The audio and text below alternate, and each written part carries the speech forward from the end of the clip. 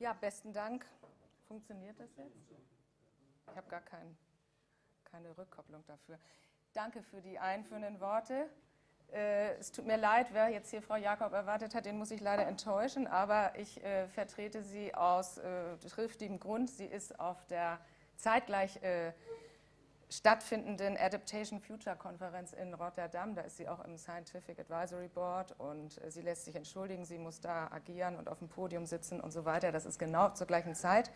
Daher äh, werde ich sie hier heute vertreten und ähm, ja, der Titel heißt, also Gerex Plus, äh, das Plus ist irgendwie da reingeraten. Also das äh, war wohl ein Fehler. Also es hat nichts mit 60 Plus oder 50 Plus oder Gerex Plus zu tun, sondern ähm, unser Institut äh, hieß früher mal Climate Service Center, also CSC. Die Abkürzung mussten wir leider ablegen aus namensrechtlichen Gründen.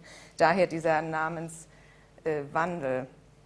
Ein kurzer Abriss ähm, meines Vortrags. Ich habe jetzt ein bisschen das Problem, dass ich gegen knurrende Mägen äh, ansprechen muss. Ich weiß nicht, wie viel Spielraum mir da bleibt, sonst müssen Sie äh, die rote Karte hochhalten. Ich kann mich ja knapp fassen zu den Auswirkungen des Klimawandels. Da hat Herr Grassel ja wunderbar uns vieles erklärt. Ähm, gehe ein bisschen auf Extremereignisse ein. Äh, Gerex, wer sind wir? Wie arbeiten wir? Ein bisschen Hintergrund zu Aktivitäten der EU, zu Klimaservices. Ähm, und dann will ich hauptsächlich, darum wurden wir gebeten, einige Beispiele aus unserer Arbeit zeigen, was sind wir in unserem nach unserer Auffassung äh, Klimaservice-Produkte, die wir prototypisch entwickeln und am Ende ganz kurz ein neues Journal vorstellen. Wir haben gehört, der Klimawandel betrifft alle Länder weltweit, auch Europa, und die äh, Auswirkungen sind bereits sehr spürbar.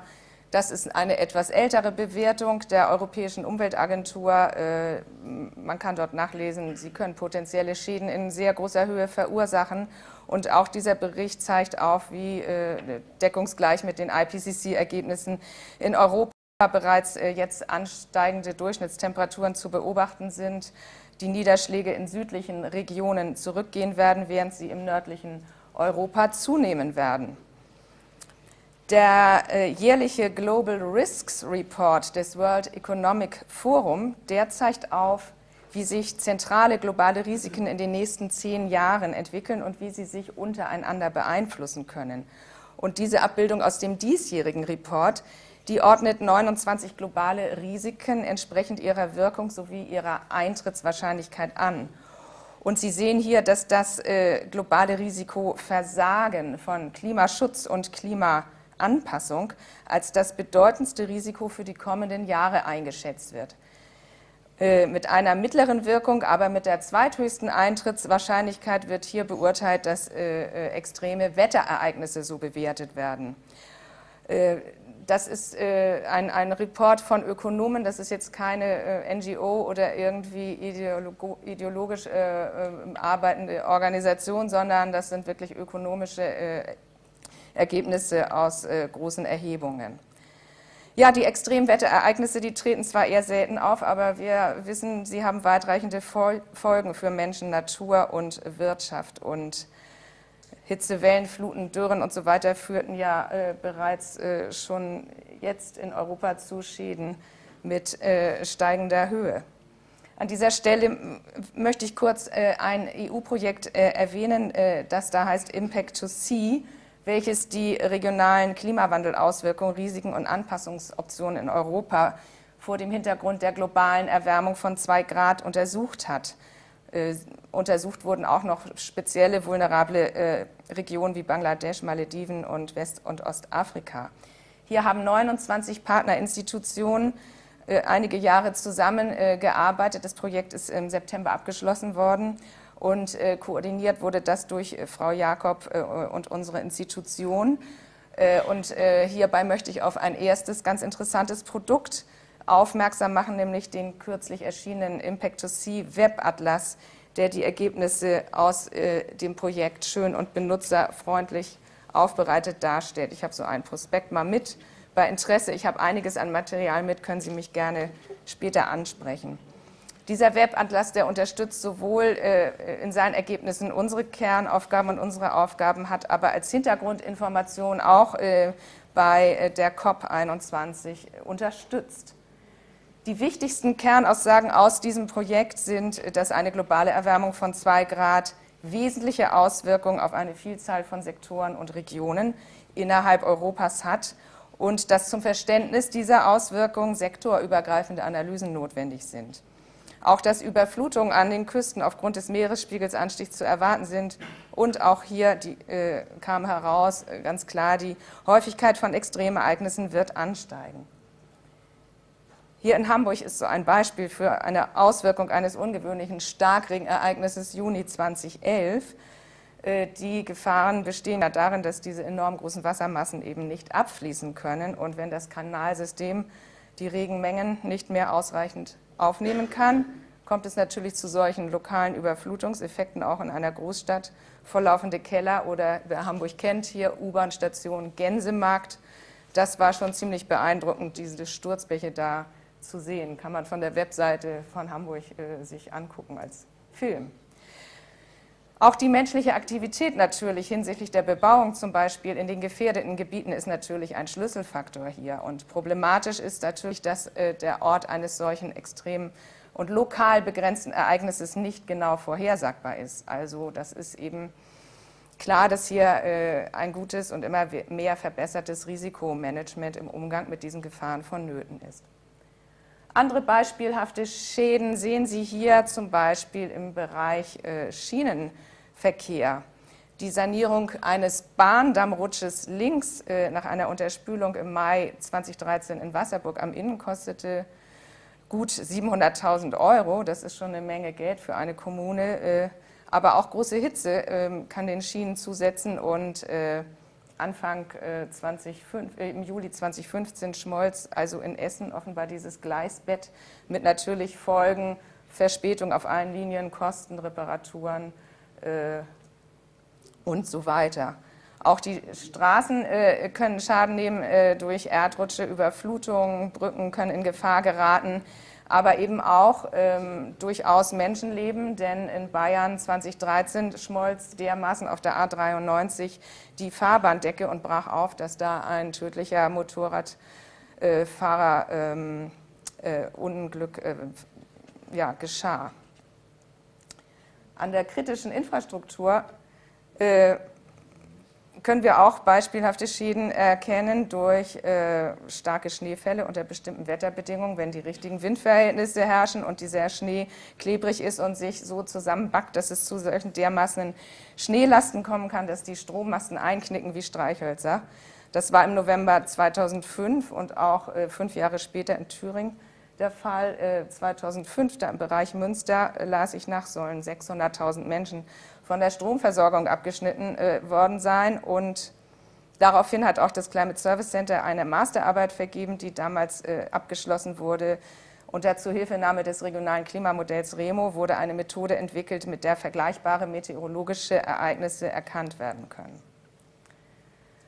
Herr Grassel ist schon sehr äh, gut auf die COP eingegangen. Ich äh, hatte das auch nicht weiter vor, wollte aber nur noch einmal darauf hinweisen, dass äh, jetzt im letzten Jahr im November oder im Dezember auf der COP die Wichtigkeit der langfristig angelegten Anpassungsmaßnahmen ja nochmals betont wurde.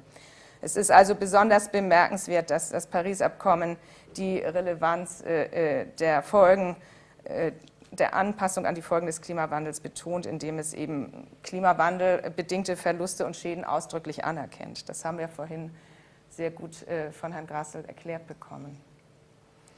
Ja, also eine wichtige Voraussetzung für das Treffen von Anpassungsmaßnahmen ist eben die effektive Vermittlung von wissenschaftlichem Wissen zum Klimawandel in die Praxis. Das hat die Bundesregierung auch früh erkannt und äh, sie hat aus dieser Motivation heraus durch das BMBF Anfang 2009 am Helmholtz-Zentrum Geesthacht das Climate Service Center einrichten lassen und eingerichtet äh, in einem fünfjährigen Projekt, äh, das war gemeinsam getragen, äh, diese Idee von der deutschen Hightech-Strategie zum Klimaschutz und von der deutschen Anpassungsstrategie an den Klimawandel.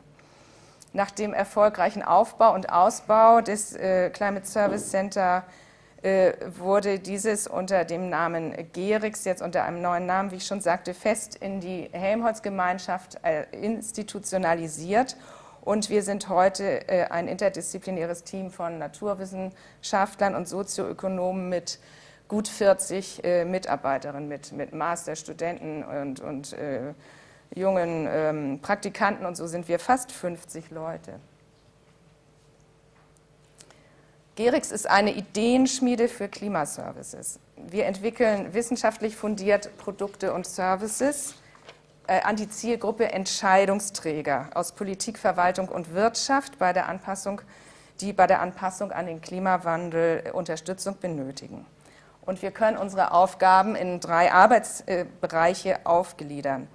Zentral ist die prototypische Produktentwicklung. Hierzu wird der Beratungsbedarf der Akteure, die mit uns zusammenarbeiten wollen, genau ermittelt.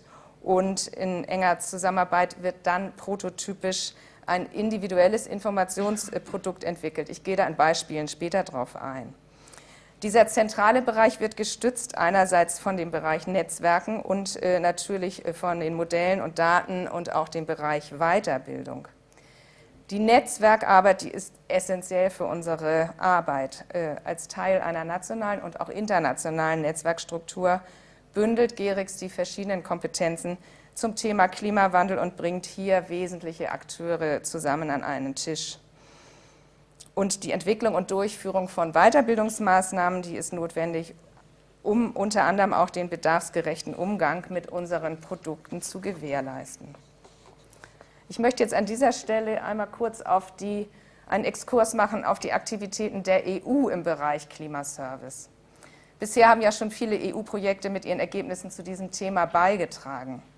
Nun ist das neue EU-Forschungsprogramm Horizon 2020 mit einem Fördervolumen von 80 Milliarden Euro oder über sieben Jahre das größte EU-Research und Innovation Program, das es je gab.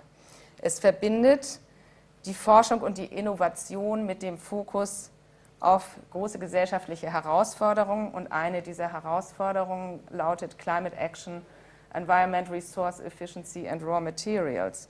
Und genau hier rein gehört auch die Entwicklung eines Marktes für Klimaservices. Um den Stand zu den Klimaservices umfassend zu beleuchten, wurde im März 2014 auf Einladung der Europäischen Kommission ein erster Workshop zu diesem Thema veranstaltet, in dem auf Einladung 124 äh, Praxisvertreter und Vertreter von Anbietern von Klimaservices teilnahmen. Frau Jakob, unsere Direktorin, die hatte hier eine Referenten- und Moderatorenrolle im Workshop inne und sie wurde auch aufgrund ihrer langjährigen Erfahrung als Regionalmodelliererin und als Führungskraft im Climate Service Center in eine fünfköpfige Expertenarbeitsgruppe berufen, die eine EU-Strategie für Klimaservices erarbeiten sollte, die sogenannte Roadmap für Climate Services. Der Hintergrund war, dass die Klimaservices entsprechend durchdacht in die EU-Forschungsagenda mit aufgenommen werden sollte.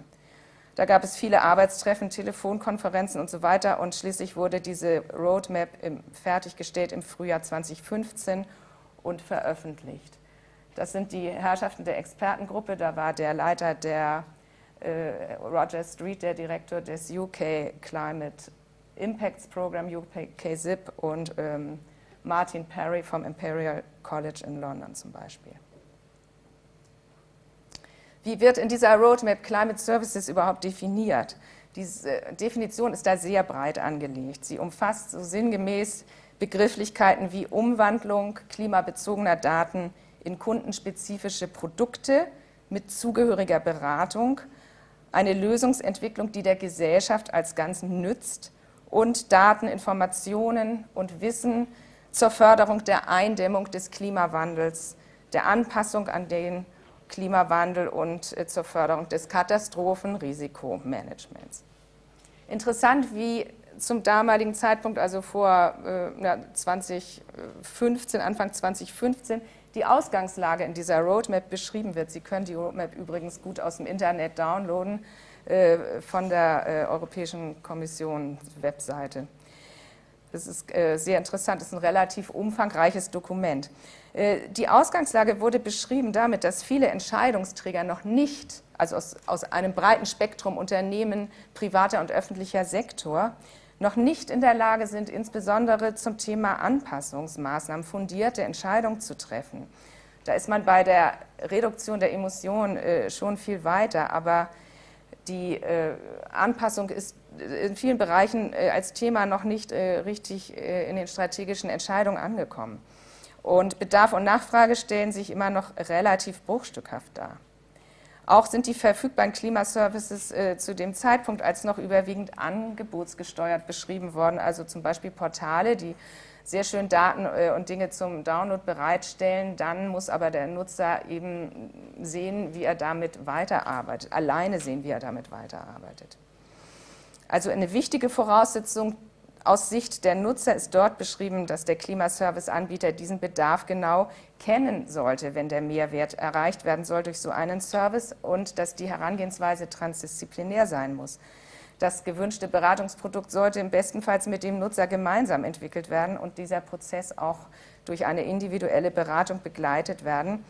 Und äh, man müsse sich äh, mit den Praxisakteuren äh, auf Augenhöhe begegnen.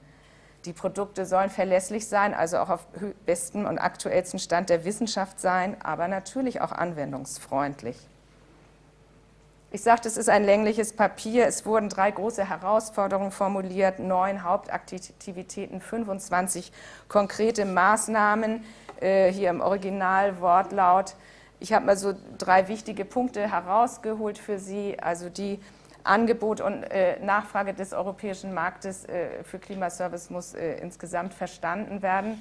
Das ist der, der, Ziel der Implementierung dieses Programmes mit seinen äh, vielen Ausschreibungen. Eine zukunftsfähige europäische Klimaservice-Community soll aufgebaut werden, die Nutzer, Anbieter, Lieferanten, Innovatoren und Forscher, ich denke auch hier und da Fördermittelgeber, mit einbezieht und neben den physikalischen müssen natürlich auch immer wieder sozioökonomische und andere nicht physikalische Daten wie Landnutzung etc. in äh, Klimaserviceprodukte mit einbezogen werden. Und das klang jetzt auch schon mehrfach an, wie wichtig das ist, äh, dass die möglichen Bandbreiten und zugehörigen Unsicherheiten mit äh, kommuniziert werden müssen.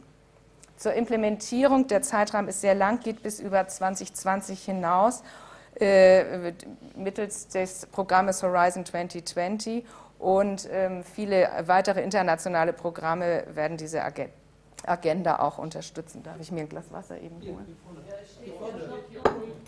Ich brauche mal was. Dankeschön. Danke. Wir äh, im Climate Service Center, wir arbeiten entlang der Linie dieser eben äh, skizzierten Anforderungen der Roadmap. Denn der nutzerspezifische Wissenstransfer, das ist unsere zentrale Aufgabe.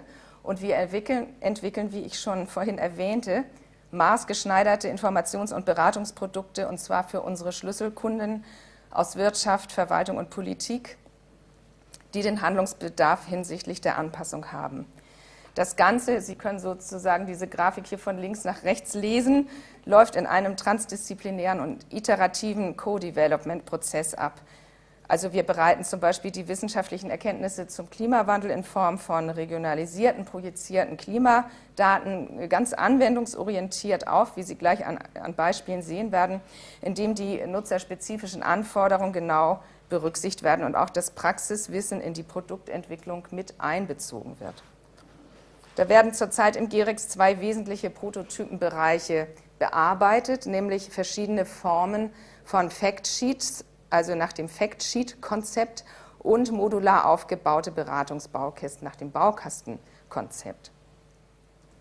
Nach dem ersten Konzept haben wir Climate Factsheets für Länder bzw. Regionen entwickelt und standortcharakteristische Factsheets äh, und Factsheets für verschiedene Sektoren, die befinden sich zurzeit noch in der Entwicklung. Die Climate Factsheets stellen die Informationen zum Klima und Klimawandel für einzelne Länder und Regionen weltweit in standardisierter, komprimierter Form bereit. Sie geben dabei aber auch Auskunft über die zugehörigen Bandbreiten. Sie wurden von uns ab dem Jahr 2011 gemeinsam mit der KfW Entwicklungsbank entwickelt. Denn die KfW, die braucht für die Planung ihrer Investitionsprojekte verlässliche Informationen über eine mögliche Einflussnahme des Klimawandels auf diese Projekte, bevor diese genehmigt werden können. Und sie haben sich dann an uns gewendet und ähm, äh, es war dann der Wunsch nach Informationen in konsistenter Weise und durch eine äh, sorgfältige Analyse und Zusammenstellung der, der Anzahl, der großen Anzahl existierender Klimadaten für das jeweilige Land oder auch für eine Region, wenn das Land relativ klein ist. So wie hier ähm, Burkina Faso, Togo und Ghana zusammengefasst in dem Beispiel. Und seit kurzem haben die Kollegen auch die äh, Climate Fact Sheets aktualisiert äh, auf den äh, Stand der Datenbasis vom IPCC Sachstandsbericht 5. Zurzeit stehen jeder Mann, Sie können die downloaden äh, nach Registrierung, 58 Climate Fact Sheets für die äh, hier farblich gekennzeichneten Länder oder Regionen zur Verfügung, 51 auf Basis von Globalmodellen, sieben auf Projektions, äh, auf Basis der Projektion regionaler Klimamodelle. Das ist aber im Moment nur Europa. Daraus aus diesem Konzept weiterentwickelt wurde mit der BASF für den Produktionsstandort Ludwigshafen ein Prototyp für standortcharakteristische Factsheets. Ich habe auch, äh, zwar nicht jetzt hier für jedermann zu mitnehmen, aber Ansichtsbeispiele, wie gesagt, downloaden können Sie sie. Ähm, ich lege die nachher hier hin oder Sie sprechen mich an. Diese standortcharakteristischen Factsheets, die bieten eine Zusammenfassung von Klimawandelinformationen für Klimaparameter, die für bestimmte Produktionsstandorte wichtig sind und äh, die basieren auf dem aktuellsten Ensemble hochaufgelöster Eurocordex-Projektionen. Jetzt mache ich einen Querausflug äh, zu Eurocordex ganz schnell äh, für die, die da das nicht so gut kennen. Ähm, die vom World Climate äh, Research Program geförderte Initiative Cordex, die koordiniert die institutionelle Zusammenarbeit weltweit hinsichtlich der stetigen Verbesserung regionaler Verfeinerung von Simulationen. GERIX ist hier sehr stark engagiert durch die Erstellung hochaufgelöster regionaler Klimaprojektionen. Äh, da findet auch übernächste Woche wieder eine Tagung in Stockholm statt. Eurocodex ist nun der europäische Zweig von Codex und wird gemeinsam von Daniela Jakob mit zwei Kollegen von der Uni Thessaloniki und äh, Bergnes Center Bergen koordiniert. Insgesamt umfasst die Eurocodex-Community 29 renommierte Institutionen und nach den neuesten RCP-Szenarios werden koordiniert hier regionalisierte Klimasimulationen für Europa mit horizontalen Auflösungen von 50 und 12,5 Kilometer durchgeführt. Mir ist das wichtig, das zu betonen, damit Sie sehen, welche große Datenbasis eben in diese Grundlage unserer Produkte ist. Äh, die sechste Hauptversammlung fand auch im Januar im GERIX statt. Äh, wichtige Punkte sind dann hier Planung der Modellsimulation und Schnittstelle zu den Nutzern. Ein kleiner Exkurs noch äh, zum Thema nutzerfreundliche Visualisierung. Sie ist, Ihnen ist vielleicht eben diese dieses kleine Thermometer mit dem Zeiger aufgefallen, was in anschaulicher Weise anzeigen soll, wie stark das projizierte Klimasignal ist und wie belastbar die Aussage ist. Es ist nämlich nicht ganz trivial, leicht verständliche Abbildungen zu entwickeln, die auch einen statistischen Sachverhalt darstellen sollen, äh, ohne auf die wissenschaftliche Tiefe zu verzichten und die doch sozusagen für jedermann allgemein verständlich sein soll. Da kann man doch ziemlich viel äh, drüber nachdenken. Ein Beispiel hierfür ist auch äh, eine Regenkarte, die mit äh, den einigen Bundesländern Vertretern gemeinsam durchdacht und erstellt wurde. Da waren die Bundesländer Brandenburg, Bremen, Niedersachsen und Rheinland-Pfalz daran beteiligt. Äh, welche Datenbasis hier zugrunde liegt, ist jetzt nicht so wichtig, äh, auch wieder Eurocordex, aber ein Ensemble von, ich glaube, zwölf sind das, äh, wie man an dem linken Bildchen sieht, zwölf äh, Ensemble-Membern. Und äh, Sie sehen zwei verschiedene Arten von Darstellung die mittlere Niederschlagsänderung hier am Beispiel gemittelt über das Land Brandenburg. Hier geht es jetzt nicht um eine äh, regionale Karte, sondern es geht hier um einen mittleren Wert, kann man auch für andere Parameter auf andere Regionen beziehen. Aber man äh, hat jetzt hier versucht, ähm, das ein bisschen verständlich darzustellen. Also dunkelrot ist dann eine signifikante Abnahme, aber einige Member zeigen dunkelblau eine signifikante Zunahme. Das heißt, hier, der, hier sind äh, sogar einige mit äh, schwachen äh, Farben, äh, Rosé und Hellblau, gar nicht signifikant. Sollte man eigentlich gar nicht zeigen, wird hier aber gezeigt, um zu zeigen, wie viele Member aus diesem Ensemble überhaupt signifikante Größen zeigen. Auf der rechten Seite, äh, andere präferieren vielleicht eine andere Darstellung, ist mal versucht worden, ein Zeigerdiagramm zu entwickeln, wo äh, die Signifikanz in der Art des Pfeiles äh, gestrichelt oder durchgezogen angezeigt wird, wo die Richtung nach oben zeigt völlig übereinstimmende Niederschlagszunahmen, die Richtung nach unten völlig übereinstimmende Niederschlagsabnahmen und eine geringe Richtungsübereinstimmung, wenn der Pfeil genau nach rechts zeigt. Das sind so Möglichkeiten, die man erfinden muss, um äh, auch äh, vielleicht Politikern oder Menschen, die jetzt nicht äh, mit solchen naturwissenschaftlichen Datenbasen und Auswertungen zu tun haben, solche Dinge etwas klarer zu machen. Zurück zu dem Factsheets-Konzept. Ein weiteres Produkt in dieser Produktgruppe entstand auch mit der KfW gemeinsam für ein Faktenblatt namens Climate Focus Paper. Das liefert auch ganz gezielt Hintergrundinformationen zu wissenschaftlichen Themen, die von großer Relevanz sind, direkt für Projektmanager und technische Sachverständige der KfW. Die kamen also mit genauem Bedarf zu uns und sie geben eine Hilfestellung bei der Konzipierung von ihren Projekten und auch äh, bei der Entwicklung und Genehmigung von sogenannten Climate Feasibility Studies der KfW. Und da sind zurzeit äh, Focus Paper erhältlich. Äh, ich glaube, eins habe ich auch mit. Äh, zum Global Sea Level Rise, Regional Sea Level Rise äh, in Südasien und Cities and Climate Change. Ich komme jetzt äh, zu dem Baukastenkonzept.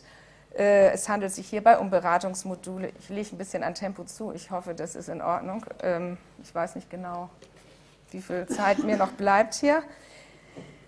Ähm, Beratungsmodule zur Integration des Themas Klimawandel in Entwicklungsstrategien äh, einmal für Städte und Gemeinden und einmal für äh, Entscheider und Unternehmen.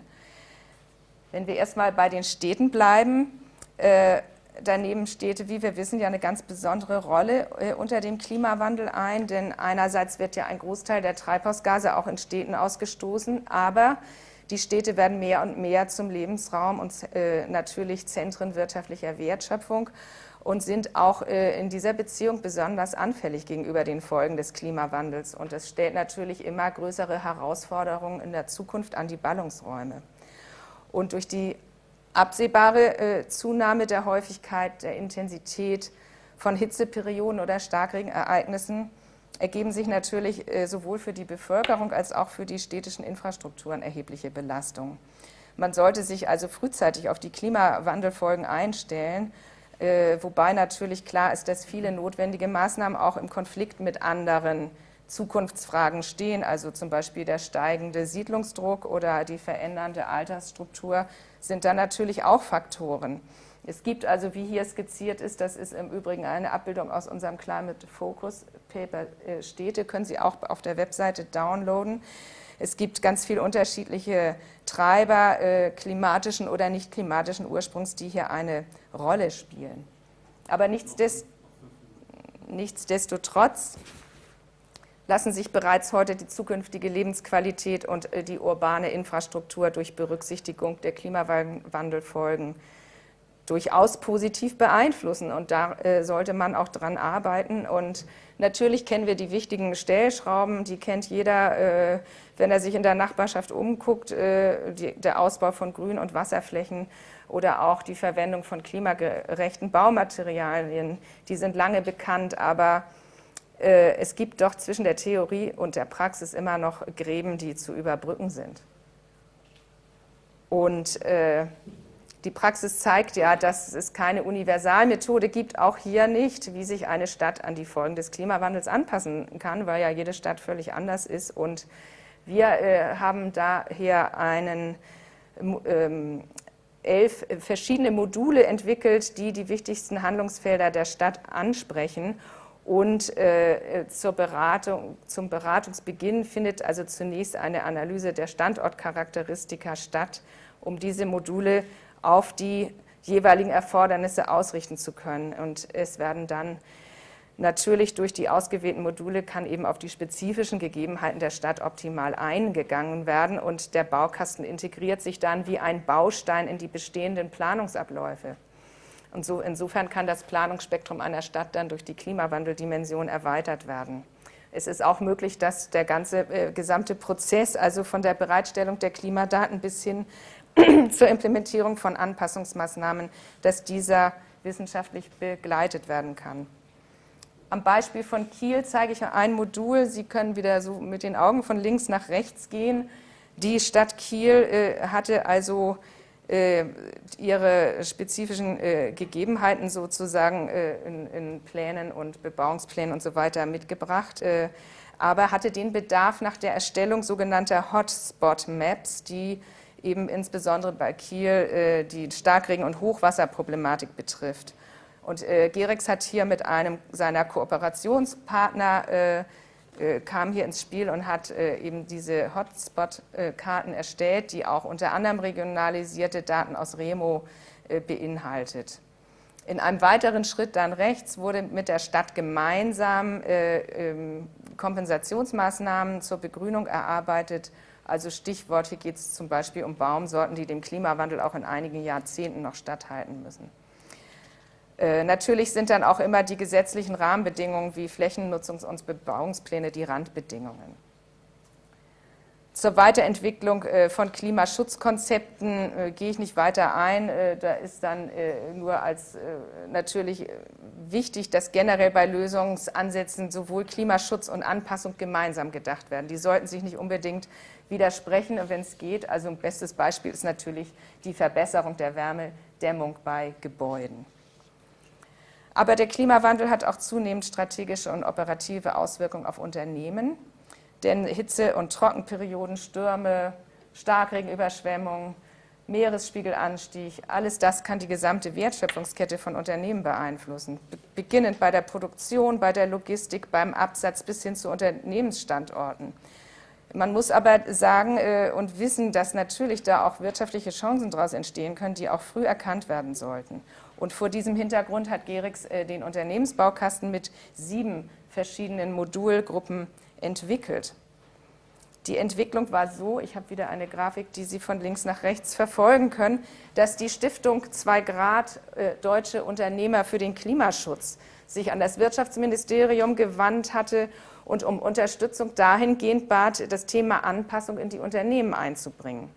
Dort verwies man dann auf das BMBF, weil man sagte, das ist Forschungssache. Und das BMBF sagte, ja, dafür haben wir doch das Climate Service Center eingerichtet, dann geht doch mal dorthin. Und so wurde initiiert durch die Stiftung von Gerix ein Vorgehen entwickelt, um das Thema Anpassung an die Folgen des Klimawandels auch in Unternehmen verankern zu können. Dazu wurde ein Analysetool entwickelt, um den Umgang von Unternehmen mit dem Thema Klimawandel und Anpassung zu ermitteln. Und dieses Tool wurde, also das ist ein, letztlich ein Fragebogen gewesen, und dieses Tool wurde im Rahmen von 35 Interviews mit Entscheidungsträgern von acht teilnehmenden Mitgliedsunternehmen, die in, äh, aus der Stiftung sind, in der Praxis angewandt und getestet. Zu diesen Unternehmen gehören namhafte äh, Großunternehmen wie Puma, Otto Group, äh, Telekom, Schwäbisch Hall und so weiter. Und das Ergebnis dieses Vorgehens ist dann die Produktidee für einen sogenannten Klimastresstest, der es Entscheidungsträgern von Unternehmen ermöglicht, den Einfluss des Klimawandels für die jeweiligen Geschäftsaktivitäten durch Berücksichtigung regionaler Klimadaten zum Beispiel strategisch und auch monetär zu bewerten. Ich bin gleich am Ende, keine Sorge, das Mittagessen ruft. Ähm, ich äh, habe einige Exemplare. Sollte jemand von Ihnen ähm, das an den Produkten interessiert sein oder es ging ihm zu schnell, ich habe einige Ausdrucke mit von einer Webseite, ähm, deren Links Sie hier sehen, wo wir eben diese ausgewählten Produkte mit weiterführenden Links beschreiben. Und äh, davon habe ich Ihnen hier nur die orangefarbenen vorgestellt. Ähm, ja, es sind also auch noch verschiedene Reports, eine Broschüre Gesundheit äh, im Klimawandel äh, und verschiedene andere äh, Dinge hier auf dieser Webseite zu finden. Das gebe ich Ihnen auch gerne in die Hand mit, wenn Sie es möchten.